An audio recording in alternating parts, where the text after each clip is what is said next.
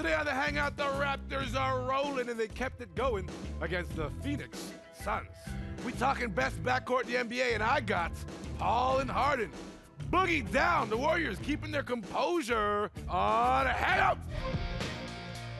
Basketball fans, welcome into the belly of the beast that is the Air Canada Center. I'm Akil Augustine, and this is Canada's home for talking hoops, the Hangout. I host the show. Dan ruins the show, and two other guests join us. That's Dan Gladman on the end of the Oh. couch. How you doing, buddy? Is that how it's going to be That's today, how it's gonna be Akil? today. I'm Okay. set- I'm setting the gauntlet up I'm ready, man. I don't think you're going to get a word in edgewise with These are the. Infinity Wars of basketball, buddy. I hope you're prepared. I'm right? ready to go. Let's Okay. Dan Gladman, producer of the Toronto Raptors broadcast.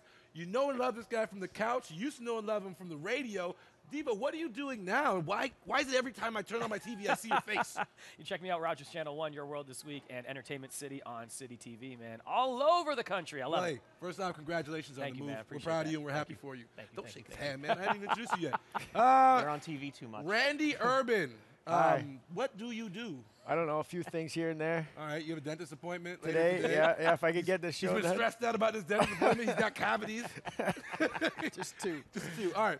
Uh, enough with the fun stuff. Let's jump into the facts. Raptors win 126-113 against the Phoenix Suns squad. Everyone's worried about um, Devin Booker's health. Hopefully, more information comes out about That that. was crazy. But let's talk about Serge Ibaka. Great game for him. 19 points, six rebounds, three huge blocks. This is a guy that's getting $20 million a year, and some people are, are upset that he's turned into kind of a one-dimensional player. Dan, you're there, you're watching the game on a night-to-night basis. Your impression of how Serge has kind of grown into a role with this group this season. Well, this will be my weekly question to you of who are these people who are upset? The people, man. The- we deal with the, the people. First thing I'm going to say is the Raptors are doing great. They're 15 and 7. Lay off and enjoy it. This team's great. Now, Ibaka did get off to a, a relatively slow start. oh, start. so after the that, he finally admits Ibaka had a slow start. Yeah, Jeez, so thanks, did man. Lowry. There's no reason to get upset at anything or anyone. But in the last two games, and I noticed it in the game against Indiana, it was a different Serge Ibaka. It, mi- it- you know, it was suggested on the broadcast last night. There have been some days off. There's been some home cooking. Rest. Possibly that rest, which the team is taking very seriously, is helping. And we've had two brilliant games from Ibaka in a, a supporting role to Kyle and DeMar, but he's been terrific in these last two games. No reason to be upset or worry. Time to talk to the quote unquote people.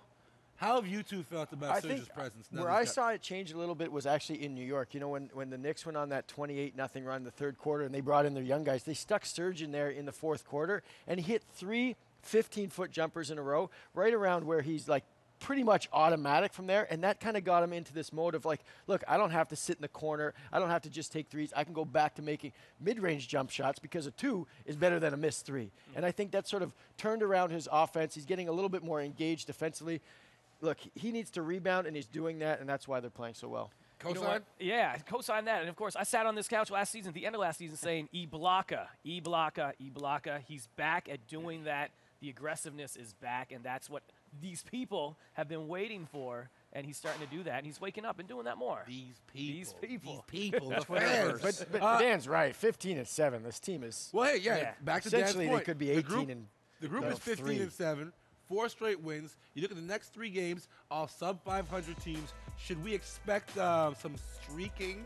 Or is it a, fair expectation, Dan, for this group to close out against the Memphis team who's got like one win in the last Well, yeah, 12? it, it, it's really the next seven games, and I, and I was talking to Sherman Hamilton before the game last night, and he, he laughed because I said, I think the Raptors are going to be on an 11-game win streak when they come home to, to face the 76ers on the on the 23rd. Okay, a little extreme, but Cleveland's on a 12-game win streak. The Celtics won 16 or 19 in a row at some point. Why can't the Raptors reel off these wins? They're playing great. They're strong on the road, and not only that, but these teams coming up. Not only are they poor teams relatively, they all have injury issues as well. Answer Dan's question. Why can't they go 11 and oh? 0? I think they can, but I think also it's just tough to win 11 games in a row. Especially there's some back-to-back sprinkled in there, and Philly is tough. But if you do look at the schedule a little further, outside of the four-game winning streak they're on, there's actually 11 winnable games in the next 11. I'm not saying they're going to do that, but you should go sure. nine and two, eight and three in that stretch. But why can't we say that they should and are expected to do that? Because, Because anybody be can champ- beat anybody on this any is true. given Mans get hot NBA. any night of the week. Yeah. Mans get hot. It's true. Like this is the NBA, right? But you should be expected as a team that wants to be considered a championship quality team Yeah. to win this and like every game, Reel off like, some But like, wins right like Dallas is you to terrible, them? right? But the Yeah. other night they won and scored 130 points or something like that. So it's not like you're just They playing. should be able to beat teams. Sacramento twice. They, they're going to get Phoenix Phoenix with it. Probably Booker's not going to play. The Clip, they're going to get the Clippers. Blake Griffin's not going to play. Yes, you, you have ups and downs, but really, right now, Get why Memphis not? first. Yeah. Okay, go to go One game at a get time. One game at a time. One They game got at a time, Indiana. They got Charlotte. They got you know Yeah. these teams first. They can they can do yeah, this. one All game right, at a They time. did it. but La- there was an 11 game win streak I think last year or two years ago. Should happen. Ex- expectations on the rise for the Toronto Raptors. Yeah, man, Um, absolutely. a team who has unreal expectations and a team who doesn't have unreal expectations. The Golden State Warriors in our big game hunting segment versus the Utah Jazz. After Gordon Hayward exited stage left and went to Boston, people pretty much wrote off the Jazz. How impressed are you with the fact that they are now battling for a top four seed in the Western Conference, the stronger of the two conferences? Devo, I'll start with you. I'm not that impressed, to be honest with you, because Really? it's still You're early. not? I, what, we're a quarter through the season, right? They I were on a six-game winning streak. There's no superstar. Yeah, but did you see who they played in the six? The best team record-wise they played in the six-game winning streak was the Denver Nuggets. I'm sorry, but that's the Denver Nuggets. Okay, The fine. toughest team maybe was Fair argument. Milwaukee. All right. Milwaukee's tough. No, I like Milwaukee. Don't get me wrong. I love me the Greek Freak, but this is not like they weren't playing Golden State. They weren't playing the Raptors. They weren't playing the Cavs or the Celtics. They didn't play quality You, know, you can only play who's in front of you, but I get your argument. six-game win streak But against like it should Would be you even have expected. expected this Utah Jazz game to string to get the team to No. I didn't. No. No, especially when Gobert went Gobert down. went down, Absolutely not. fair. But they take the personality of their coach. Like this is a team that's been overachieving for the last, I, I would say, two or three years. So Yes. I'm not that surprised. But when you do look at their personnel, it's like, what? Who's that? guy? Yeah. Like what? How is that Who's on the happening? court? To Yeah. that, Yeah, yeah. to that point, Donovan Mitchell, He's point nice. guard, He's nice. out of Louisville, had 41 the other, 46 the other night. I think it was 31 against the Warriors. Is he the r- best rookie in the league, not named Benjamin Simmons?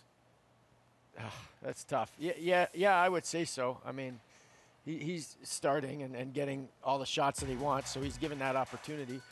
I don't, I don't think Lonzo's been that bad as well. Would you but I take wouldn't- Lonzo ahead of the, of Spider Mitchell?